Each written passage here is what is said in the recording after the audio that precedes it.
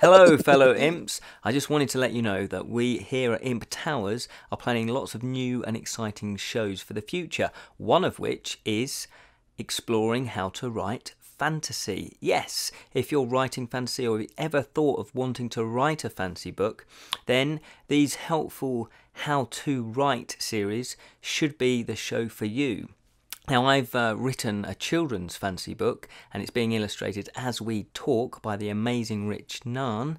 And I just thought, actually, I've learnt a lot from the process. I wonder if I can pass on that knowledge to you lovely imps. So, if you are thinking of writing or if you are currently writing, then as I say, these little how to tips might be just what you're looking for. Now, I'm not claiming to be an expert, but it's more my journey of how I started out. And I found that the more I read about how to write, or the more people I asked about how to write, the kind of different tips and hints I got, I did find very, very valuable. So, we'll be covering things like characterization, how to build your fantasy world and make it believable, how to do um, believable dialogue with the characters and things like that how to create say religions in your in your fantasy world what sort of money you know system have they got things that actually will create oh and of course how to deal with magic in your fantasy land. So things that actually create a very believable world for your characters and hopefully your readers will enjoy. But that's not all. We'll also be covering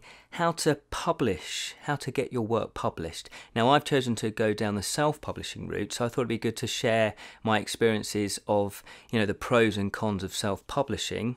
And so we'll be looking at that kind of journey, you know, which printer to choose. Should you go for a printer online or an actual printer that you can go and visit and talk to and chat through your book and, and what you actually need for your book? through to graphic design. So, should you do the cover yourself? Should you do all the layout yourself?